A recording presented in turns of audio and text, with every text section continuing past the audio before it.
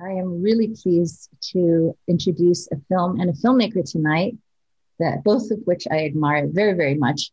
Before we actually bring the director into full focus on Zoom, we're going to see a trailer from his film Leap. It is the Chinese submission for the Oscars this year, and it is uh, centered around the story of the Chinese volleyball coach Lang Ping. Let's take a look at the trailer first. 我们不可能打一辈子球，你就没想过当中国女排的主教练吗？其实从那时候开始，你就应该知道，我们早晚会碰到，我们躲不掉的。来，I've got nothing to say。现在我们该做什么？该做的是一分一分给我把球咬回来。Show me what you've got。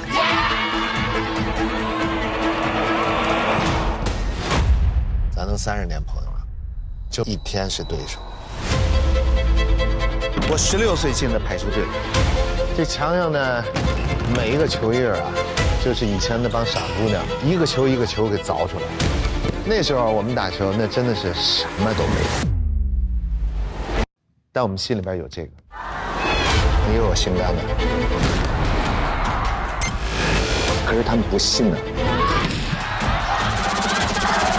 他们说我们永远高不过俄罗斯，也跳不过巴西，也没有塞尔维亚跟意大利的力量。现在你能给大家带来展示的希望。我郎平从来不装，我都是玩真格的。排球不只是我们的工作。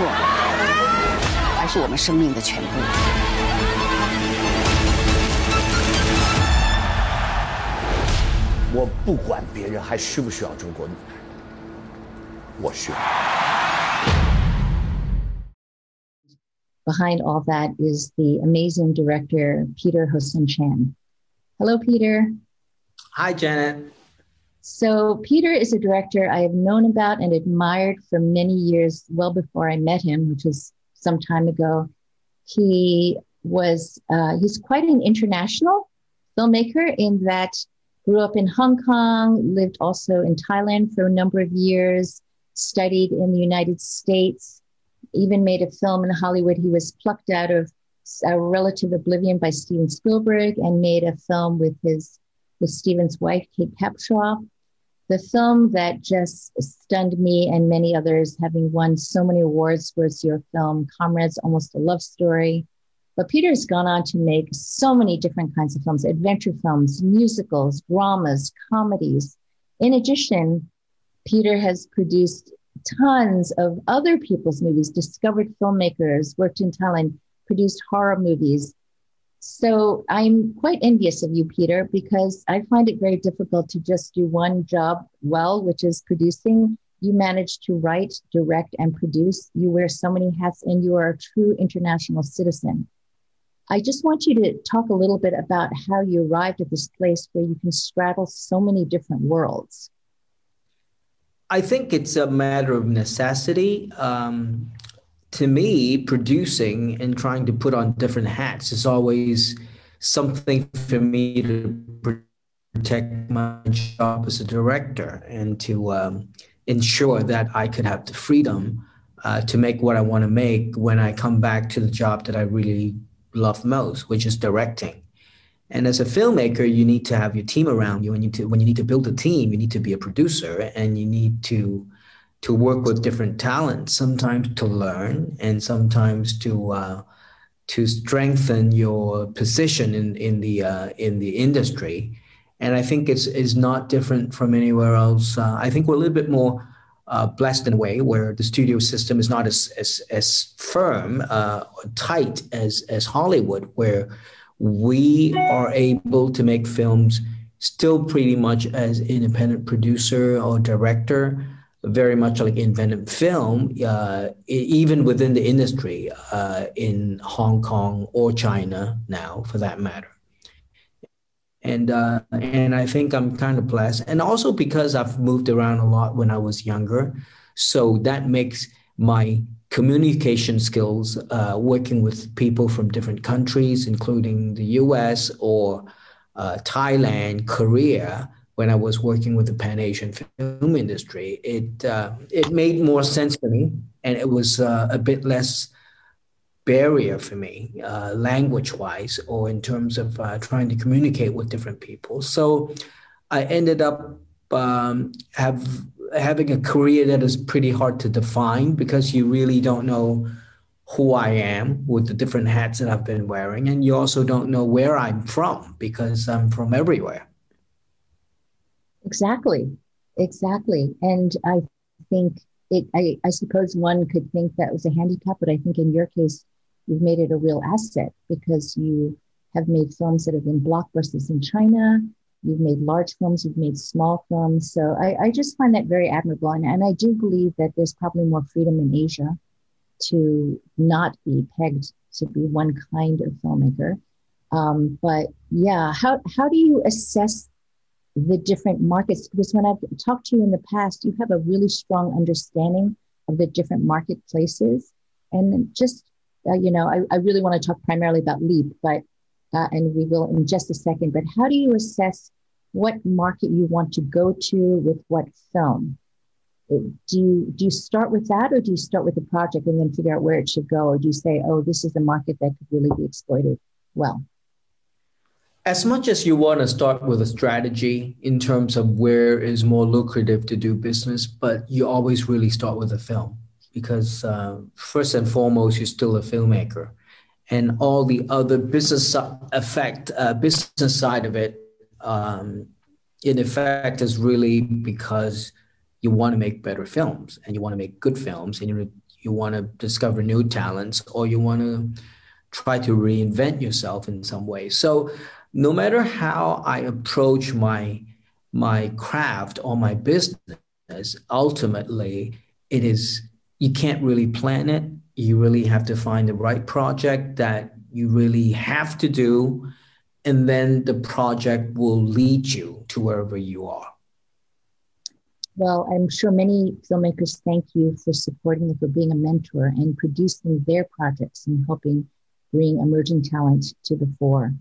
So, for yourself, as of some time ago, I have observed, as many people have, that you've really been focusing on the China market.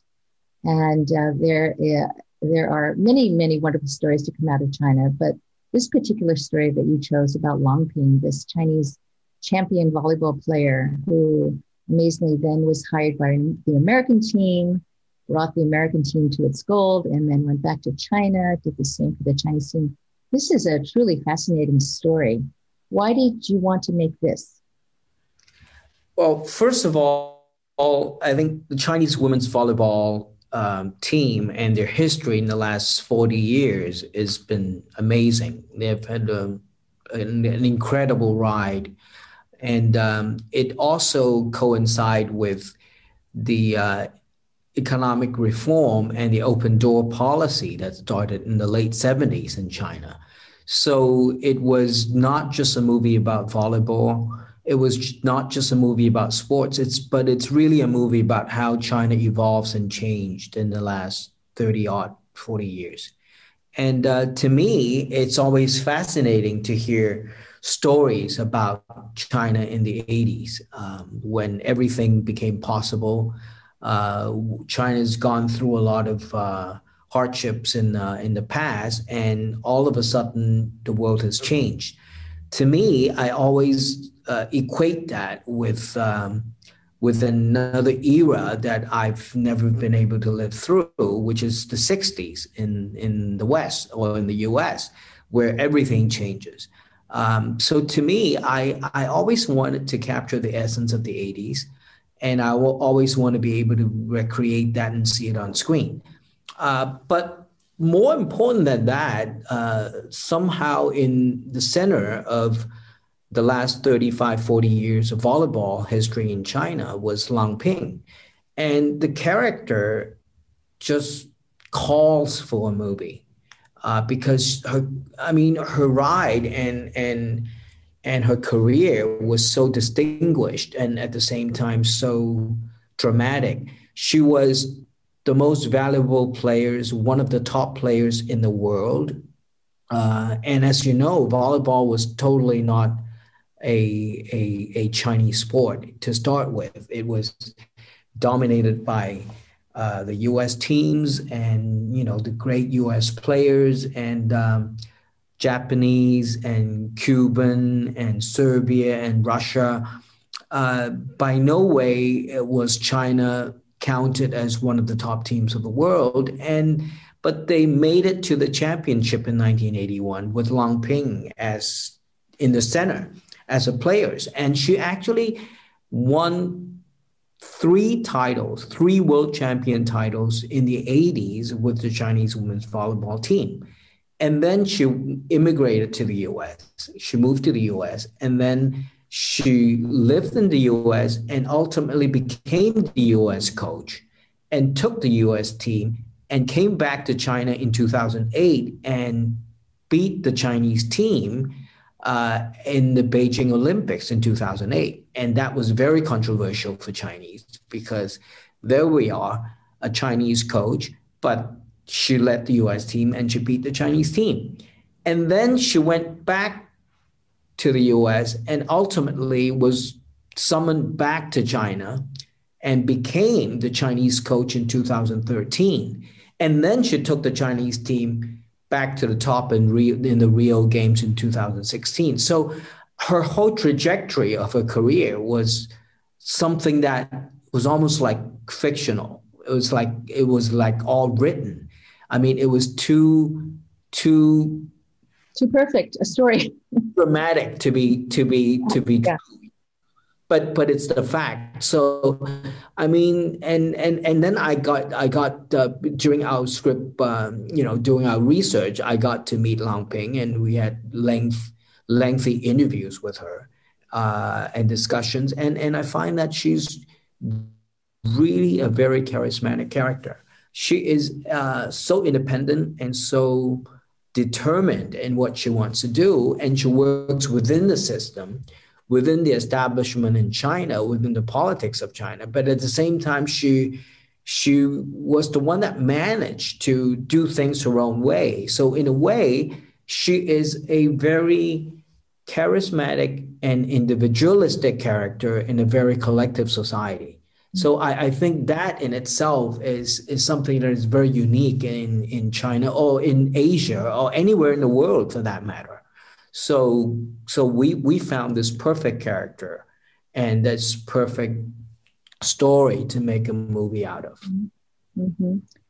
Uh, you've said so many things, and I want to break them down a little bit. So you talk about how this story of Lang Ping in some ways reflects the story of China over 30 years. We've talked about how special the 80s were, as as as you know and others know. I, I lived in Beijing in the early 80s, and and many of us who lived there at the time felt feel so nostalgic about that period. I, I don't think I will ever experience that again. The level of purity, in a way, the innocence, and this feeling of hope and curiosity about the rest of the world was truly a special time.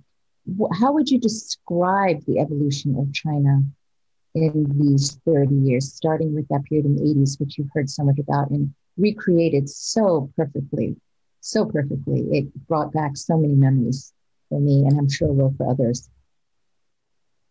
I, I had a lot of help. As you know, I envy you, um, Janet, for having lived through that that time. I I was I've never set foot in the mainland until 1993. So all I've heard, you know, in my last 20 years of working with China uh, was how beautiful it was in the 80s. And um, through the film, I, I actually get to experience it a bit. You know, we recreated everything that we could. Uh, we had uh, our DP and production designer who lived through those periods and and and would uh, give me all their their contribution in trying to recreate as much as possible what the 80 looked like. And and I think the most important thing to me is the spirit of the people in the 80s when when they were so hungry to be to be seen by the world and how they re-engage uh, how China re-engaged with the world in the 80s. And um, but at the same time, I, I think there is what we're trying to do in the film is to show the difference between the 80s and also uh, now, you know, because certainly there are changes in values and sensibilities. And um, as much as people are working as a whole, uh, because they were really eager to be seen uh, as Chinese uh, to the world, then you have that sense of nationalism or, or patriotism or pride to be Chinese. Uh, in the 80s. But at the same time, when you're dealing with uh, the national team players today who are born mostly in the late 80s or even in the early 90s, and then you see this new generation of kids having very individual thinking. And, um, you know, when they play volleyballs, they don't play with the same sense of, of, uh, uh, uh, of the the players in the 80s. So you need to deal with the difference between now and then, and and I think that is uh, self-explanatory in the film when you see the film. So um, I I think that was also something that we need to deal with the different sensibility between the, the players in the 80s and the players today. Mm-hmm. So you said you spent uh, a good amount of time with Lang Ping and she is very charismatic. What did you learn from her about whether she felt conflicted in her heart about working for an American team or, you know, and then she goes back to China and she has a daughter that she was raising in America for a time, who, by the way, plays her uh, in her younger years. That is just the most amazing coincidence. What, what else did you learn that helped inform you in making the film? Well, one of the things that that Lang Ping taught me was the spirit of uh, winning uh, or the spirit of the Chinese women's volleyball. It's not just about you know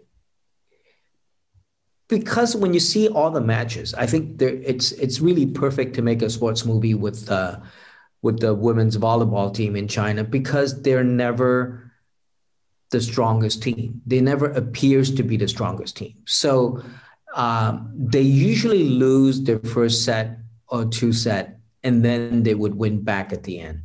It's it's it's almost like catching up at the end. So you're always rooting for them.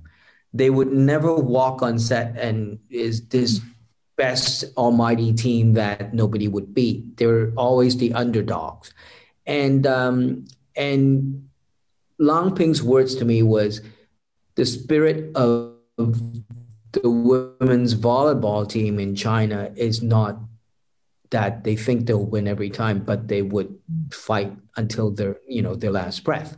So that, in essence, is I mean, because in China, everybody talks about the spirit of the women's volleyball team as if this is like the Chinese spirit.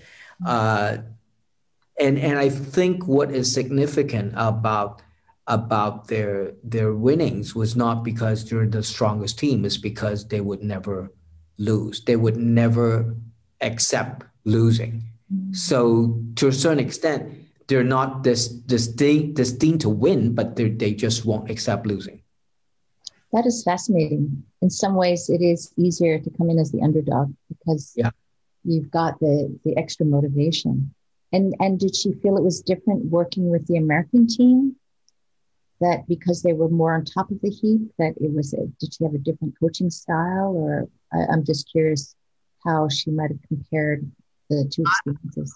We didn't get into the um, the uh, psych in working with the American team, but I'm sure that with her experience uh, working with the American team, and she also coached in Italy. She coached in a lot of different places. She actually speaks fluent Italian. Hmm. Uh, she coached in Italy for a few years, and uh, and and I think that when she came back to coach the Chinese team in 2013, she had the experience of with, working with young players all over the world. So uh, the way she coached, as you see in the second half of the film, is obviously very different with the way the old coach used to coach her when she was younger because uh, the national spirit uh, it was totally different you know it's it's it's not the same china when she came back to.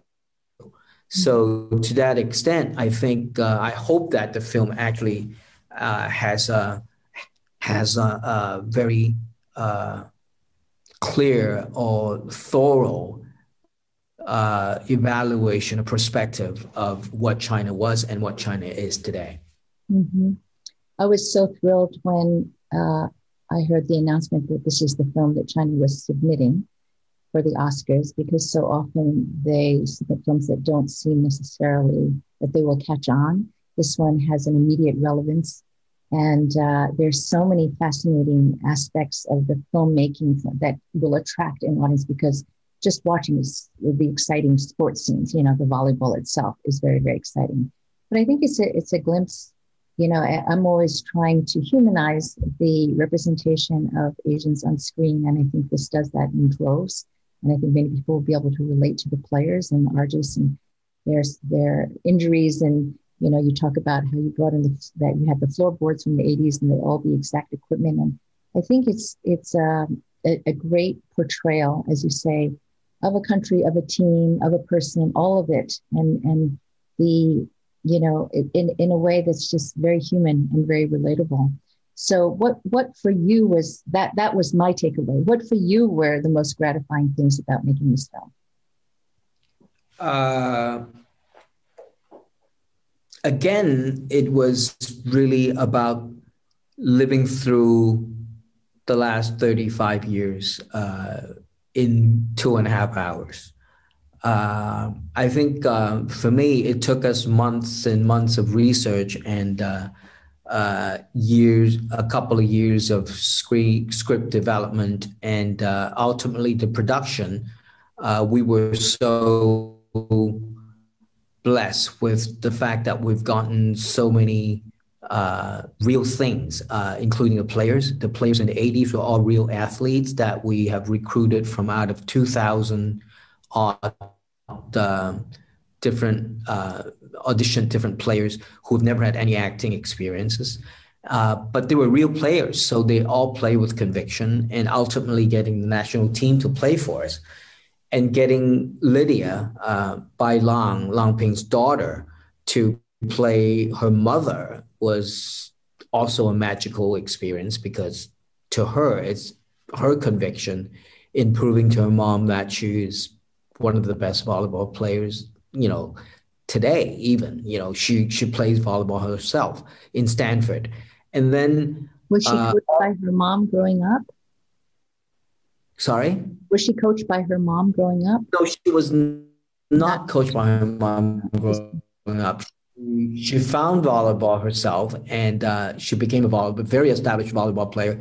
But she was advised not to get into professional volleyball when she graduated college because her mom see how difficult that path was going to be. Mm. And I think to her that uh, is has always been something that uh, a missing piece in her life mm. that she felt like uh, she was not good enough.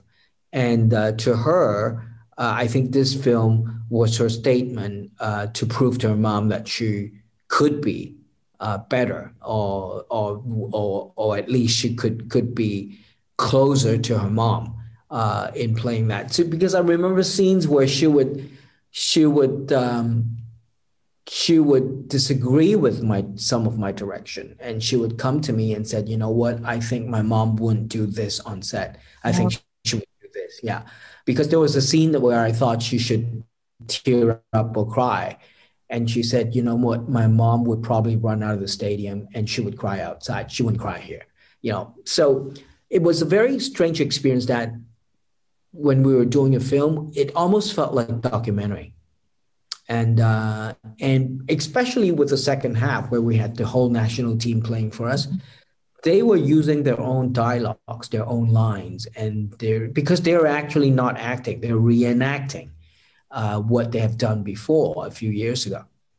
And uh, and to the detail of the props and the stuff we used in the 80s, we we actually we're very lucky to be able to use the exact floorboards that uh, of the O Stadium where the O team, where the team, the champions team in the 80s played and practiced.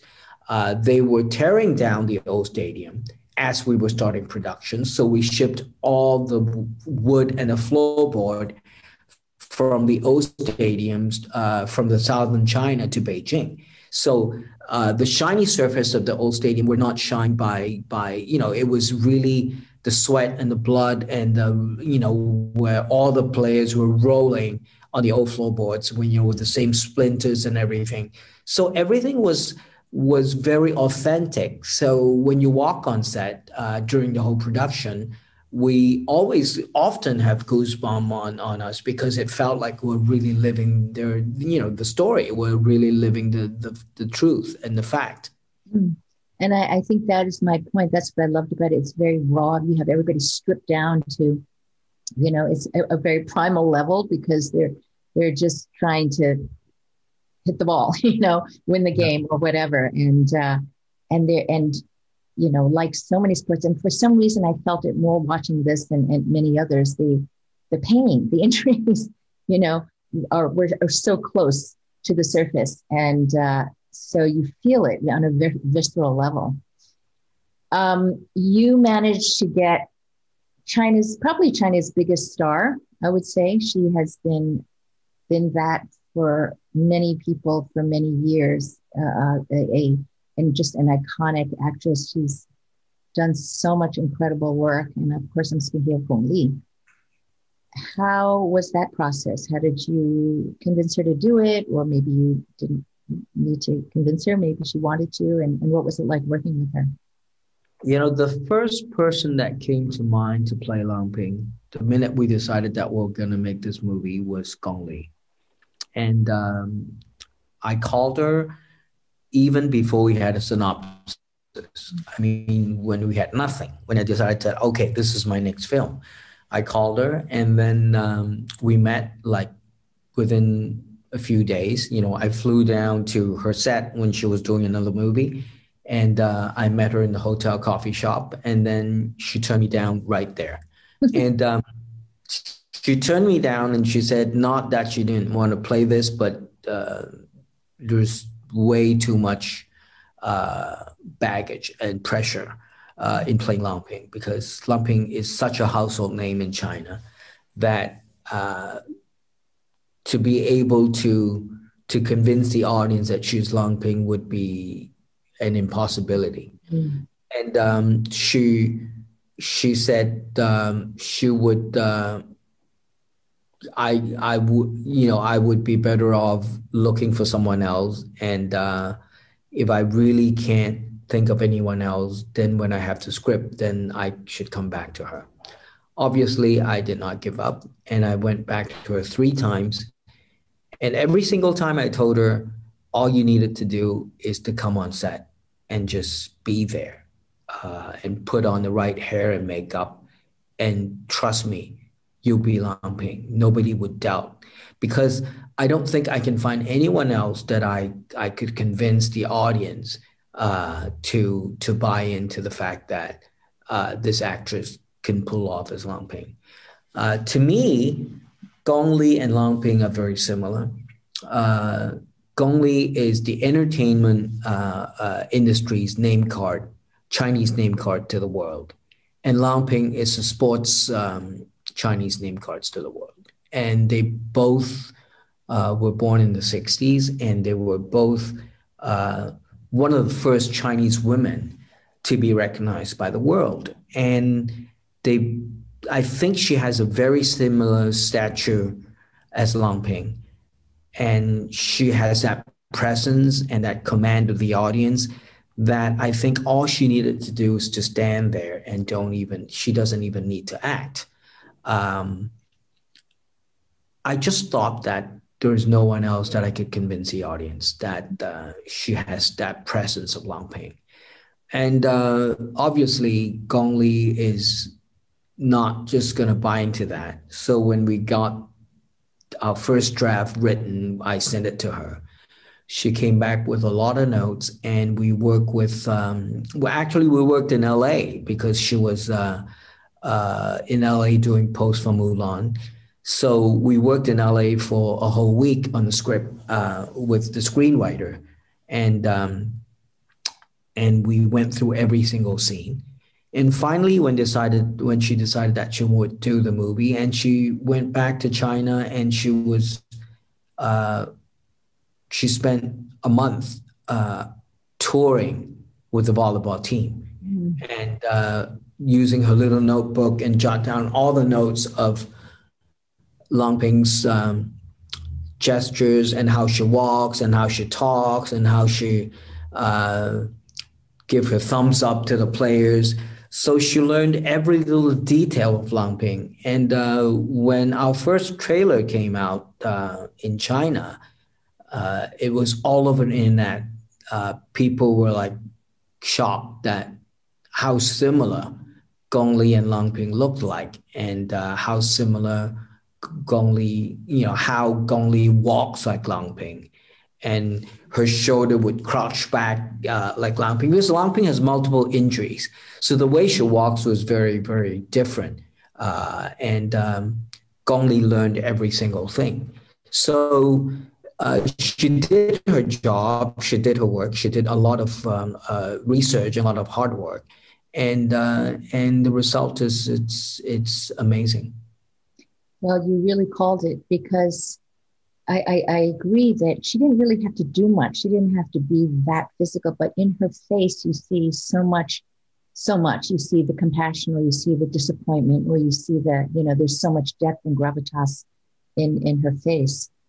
Still, we've never seen Gong Li in a role like this. You know, we associate her with maybe playing a, a you know, in a period movie, the, the old yeah. Zhang Yimou movies, or the delicate this or the wife or the bereaved or this whatever. We, we all know all the different roles that that uh, Gong has played. This one is is so different, and it was a bit of a shock to see her in the wig and you know in her sports attire, uh, but it seemed so fitting. When you say she went around and toured the different sports teams, did she do that with Lang Ping or did she see footage because no, she was with Lang. gestures. Oh, with Lang Ping, I see. She with a team. She was with Lang. Sense that makes but sense. I, but I've heard that she didn't really have a lot of time uh, alone with Lang Ping. It's not like when she toured Lang Ping, she gets to. I think they had like two dinners together, uh, but she was just observing Lang Ping sitting next to her uh, for a month.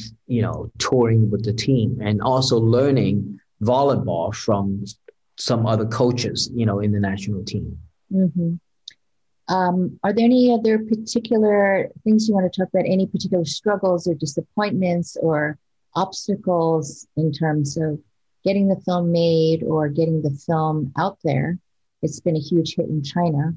Uh, I haven't followed where else it's played. It it uh, it will have, a, a, I think, a very limited theatrical release in the U.S. and, and obviously, as the Oscar submission it will be on the Academy screening room, which gives access to lots of people, 9,000 people to watch it. Is there anything you would say about this process that has been particularly challenging for you as a filmmaker? Each film usually comes with this bag of goodies and baddies. it's a lot of challenges throughout, but the um, the process of making the movie was was so incredibly smooth uh, not without challenges though, because every single turn, like I said, if you make this film with, in in Hollywood, you wouldn't be able to do it because uh, the studio needs to be 100% sure that everything is going to be smooth. And when we were walking into, you know, in when we were getting into production, everything was so uncertain, but everything turned out well. Uh, you know that we had the national team, which was a blessing, but we only had them for nine days. Mm-hmm. And um, in that nine days, we had to shoot the match with Brazil, and then that match alone should should have taken more than nine days. And we shot that match in three days, and then we shot all the other scenes with the. I mean, when I said the national team, that means the second half of the movie. We shot the rest of the scenes with all the players in five days. So it was really difficult. Yeah, oh, sorry where did you find the Brazilian and American and you know all the other international players?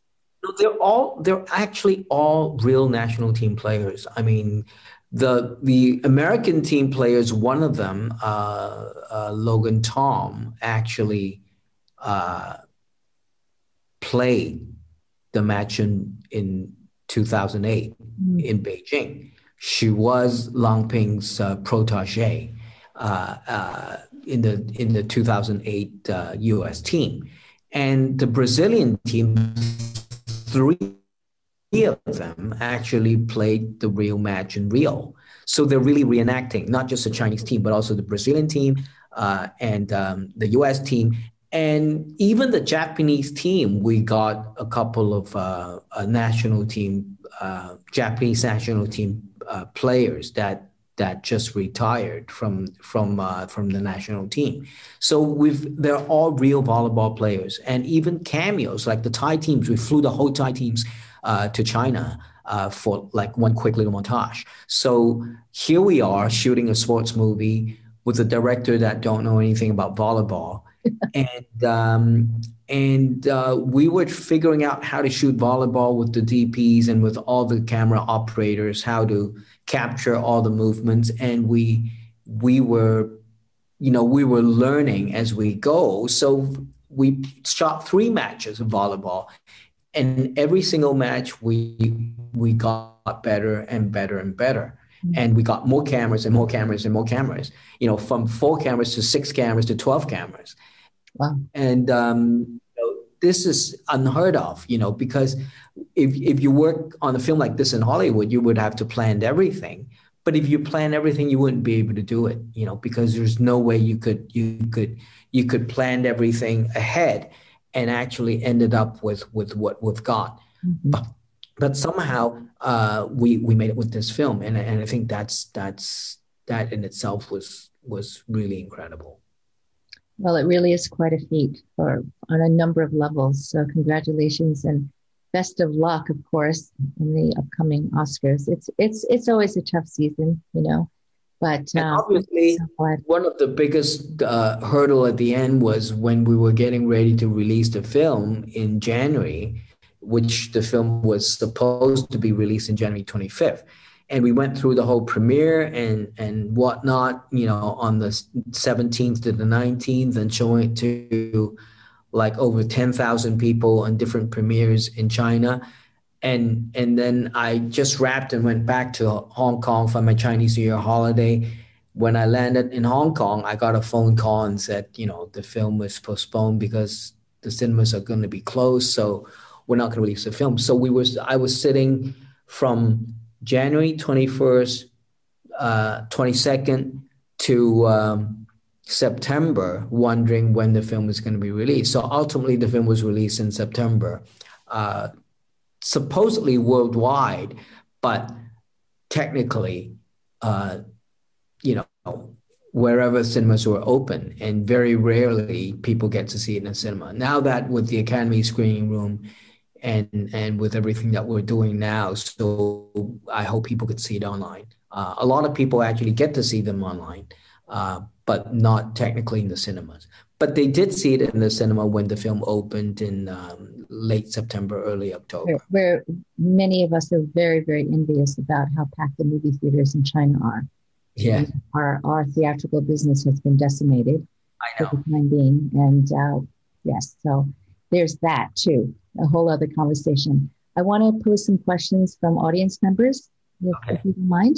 Um, one of them is from someone named Clint Wu. Is there a story that you'd like to explore that you haven't yet had the opportunity to to tell? Uh, yes, I. You know, I always um, come up with um, you know something new, and uh, I'm in the middle of uh, working on a script for my next project. Uh, and I, I think it should be it would be a more personal film you know having made two sports movies uh, back to back uh, one about volleyball and the other one about tennis which is yet to come out uh, i really have a yearning to go back to make something that is smaller and something that is very very personal uh, about my own relationship with with uh, myself and people around me and uh, and and I think that uh, after having made a lot of uh, bigger movies in the last last 15 years uh, working in China, I really want to do something that is just for me, just for myself. and um, which I haven't done so in a long, long time. So mm. that's going to be my next project. Well, many people will be waiting with bated breath about that. Um, from Simon Chu, hello Simon. We he asks whether you think that Asian cinema can ever go global. Why has there never been a Chinese film which has won an Academy Award? Barely any have ever been nominated, just very few. And what is preventing this from happening? And I, I think Asian cinema has gone global already, you know, uh, and it's not like Asian cinemas are not seen. Uh, with you know, since I mean, particularly Chinese cinemas uh, from the '80s, you know, we've seen a lot of great Chinese auteurs, fifth generation directors telling very Chinese stories that has been seen all over the world. But the thing is, uh, I think the world is pretty much, um, especially with streaming, and the world is pretty much, um, in a way, homogenized. Um, because I think the gaps are really bridging maybe not so much in terms of Hollywood blockbuster, but um, but I'm sure that uh, but even Hollywood blockbusters there are more and more Chinese characters, and uh, but I think that you know with last year's um, Parasite, uh, it's such it's a Korean movie. It won not only best foreign film, but uh, best international feature, but but best picture. Uh, and I and I think that because the problems of the world and the societies are becoming more and more similar uh, wherever you are. You know, the same problems that is happening to people in LA or New York are the problems that are happening to people in Hong Kong, or Beijing or Seoul or Tokyo um, or Bangkok. So I, I think that our stories are being more and more similar. And uh, it's just the habit of people watching them in foreign language and reading subtitles. And, and I think that streaming certainly helps because uh, you've got more you've got more the decision uh, it, it's less costly for the audience to go watch a foreign film. Uh, you don't have the cost of time, of traveling, of scheduling. You can just click on your TV and watch. And sometimes when you don't catch the subtitles, you can always pause and rewind and go back and watch it again. Uh, to me, I really think that when you click on one of these streaming platforms and then you watch a lot of shows are in foreign languages. And uh, I watch more foreign language shows than I watch English language shows or Chinese language shows. So I think the world is really bridging nicely uh, in terms of of the entertainment materials that we get to watch or the content that we get to watch on on the streaming platforms. So I, for one, is all for the streaming platforms because it, it's helping to bridge the world. It's helping us to get more uh, freedom for audience to watch watch uh, things that they normally wouldn't choose.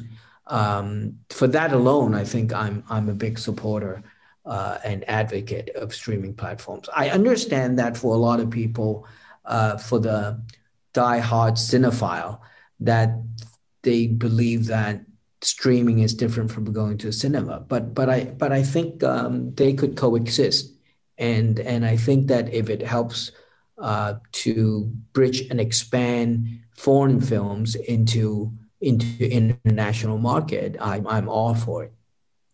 I couldn't agree more that the old business model of having to gather as many bodies in one place at the same time and opening weekend definitely favors a certain kind of movie. You know, once sort of more of a mass appeal. But if there there's so many wonderful uh, films to be seen from anywhere in the world, and all the you know there's there's the flattening of of the playing field. I think has been very very good for more inclusive, diverse entertainment for sure. On the other hand, the experience of seeing something. I don't know if movie theaters will survive or how they'll survive in this country. So, you know, I love the idea of seeing movies in a theater. still. So it's a it's a mixed bag, and and and I do hope that there are screens for perhaps very large movies, but also for smaller ones where it's like going to a museum or going to a cafe and you know a coffee shop where you have this very very yeah. special experience. And it remains to be seen. But China China is such a is is so unusual in in such a, a positive way, both because uh, the way that the economy is able to really, you know, just thrive at this point, and because people are able to go out into the world and and be in cinemas, it will be. In, in, and China was already going, in my opinion, going down its own path in terms of the kinds of movies that have been very, very popular there. So it's a really a market unto itself. Mm. Uh, I, I appreciate the question because many of these very, very popular movies don't really uh, gather the same audience, you know, as, as they do in China. And at some point, hopefully that will change because there are so many movies that have done, you know, hundreds of millions of dollars of business in China.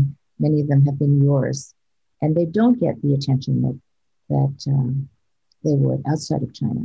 So, and yeah one of the very uh, interesting phenomenon in China in the last few years is it's very hard for filmmakers to catch up because the obvious, uh, the movie that obviously would be a blockbuster um, usually uh, underperform.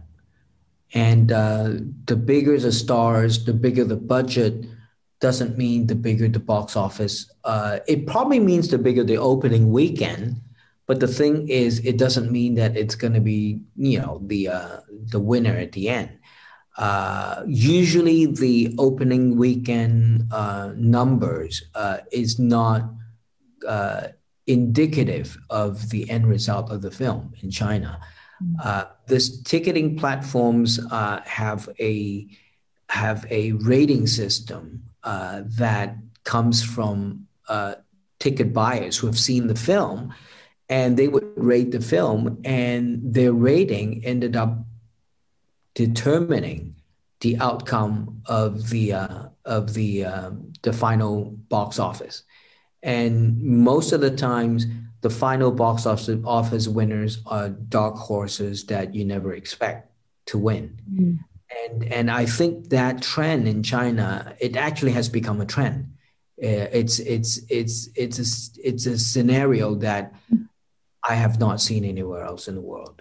So spending a lot of P&As, spending a lot of movie stars and on budget to make blockbuster is not a sure win, and that helps to um, uh, to encourage investors uh, to bet on films that are not exactly right there in the middle.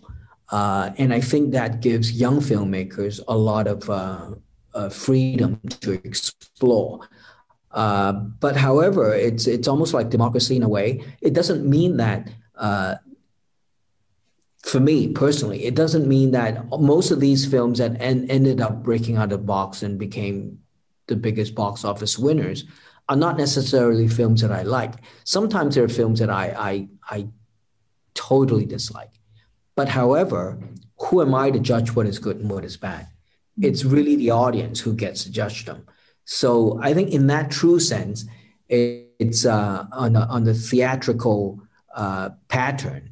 It's it's almost like um, it's it's real democracy. Mm-hmm. You know, the audience really ended up getting to choose, and I and I think that aspect in China is it's very strange, and I think it, it would probably it probably would take Hollywood executives to to study them and to to understand what it means, and maybe it could be it could be adapted uh, all over the world.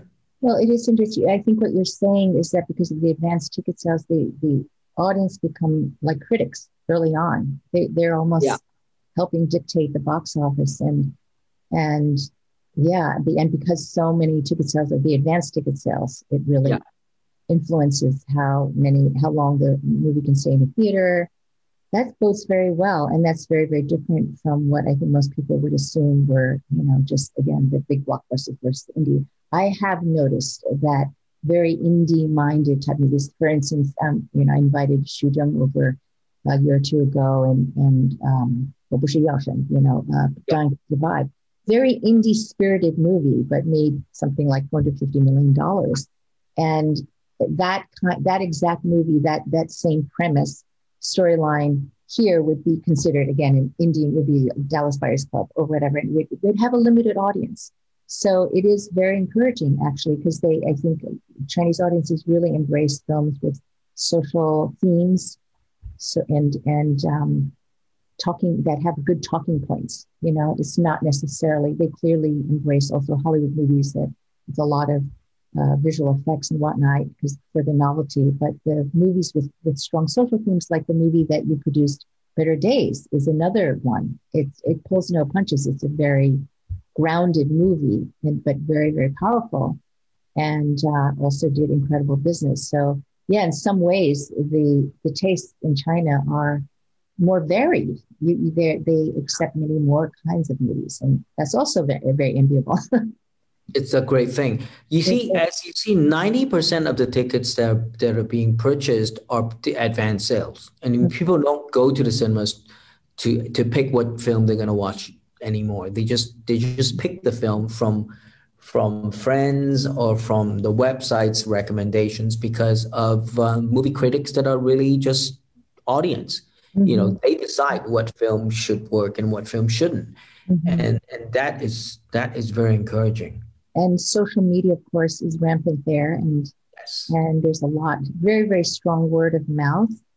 Yeah, gone are the days where it makes sense to spend you know tons of money on advertising. So yeah yeah all very fascinating very fascinating I, I, feel that in so many ways china has has trends that that are ahead of the curve you know that we will perhaps follow behind um, I, I think we have time for one more question so i'm going to combine two questions from two different people and it's about casting. And what do you look for in actors? And is it different casting in different countries? So there, there are several questions around casting and, and you know I'm, I'm sure some of these come from actors who are hoping to be in your movies. Uh, well, being you know working in the industry, casting, you've always want to try to cast movie stars as much as you can. Uh, but however, casting movie star blindly just because they're movie stars is going to kill your film. It's going to hurt the film. So what I've tried to do all my life when I was casting with big names that I work with, the I try to have very, very long conversations with them and try to understand uh, who they are, who they really are, and try to bring out the side of uh, some aspects of the movie stars uh, or from their own life, draw from their own life experience that audience would not know of, um, and try to magnify them and write them into the script. So I like to improvise a lot. I I don't um, lock my script down until I have an actor or an actress, and then I would work with them and understand and draw from the experience and actually put their experience into the script as much as I can. So they so the audience could see a side of them that they've never seen before.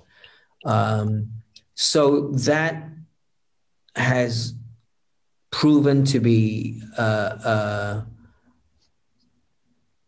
I hate to use the word formula, but that has proven to me to be a way of working with actors that makes my actors different in my films than than than you know than the persona they've been portrayed before. Um, it's often very very uh, uh, effective for me uh, with Leon Lai in comrades, with uh, even with Zhao Wei in Dearest. So I've often worked with actor or with Huang Xiaoming in American Dreams in China. So all those are uh, after having in-depth conversation with your actors, you can you could make them feel comfortable and you could make them grow into the character, or the character would borrow from the lives. So that's that's what I do. But with Leap, it's completely different. With Leap, it's uh, other than Gong Li and Huang Bo. Huang Bo, yeah. Exactly. It's always so great to watch. Yeah. They're all amateur actors. They've never acted in their lives. And don't ask me how I pulled pulled that off. uh, I don't remember how I pulled it off. It was really difficult, and it's the first time that I actually uh, uh, work with uh, uh, have a acting coach on set mm. because uh, I'm not an actor. I'm I you know I've never studied acting. There's no way that I actually could work with amateur actors and and teach them how to act. Mm-hmm. I could only tell I can only tell them what I want and what I need and I can say yes or no, but I can't I won't be able to teach them how to do it. So mm-hmm. I actually uh, had one of you know it was it was he was a great uh, acting coach from uh, from the Central uh, Film Academy, uh, Drama Academy, and uh, that is a new experience for me too. Mm. Sometimes working with non-professionals, I found it's more about telling them not to act. Like people yeah, exactly. have of what acting is, you know, and it's about how not to act. And yeah, no, that they they were so authentic. I mean, granted, a lot of the time they were playing, so that's something they obviously know how to do. But but there was never a false moment coming from anyone. So that that is yet another feat. Peter, I think our time is up, but they're so yes. That w- let me leave with one note. They were so authentic that I was worried for a while that it would make our actors uh, look like actors mm. Because they're so real that no matter how good Gong Li and Huang Bo is, they're still acting. Mm-hmm but the others are not acting you know they're real yeah well it was very seamless you know i and honestly gong li because she is so well disguised that you've never seen her look like that yeah. it didn't it, it wasn't sometimes in movies the star will pop you know you like oh that is yeah. that person and even Huang Bo, I thought he blended in perfectly. Um, so yeah, well, congratulations again. Good luck. Um, I hope people see this in large numbers. And uh, we're so happy to have you featured on this program and to support you and so much of what you've done. Truly, you've had an extraordinary career. I know you, you also, you told me you've been staying at home with your family this entire time. So you have a, a rich family life too and COVID has prevented you from traveling to China to promote your film, which is very sad. But um, but thank you for all you do for filmmakers, and uh, we'll talk soon. Thank you, thank you, Janet.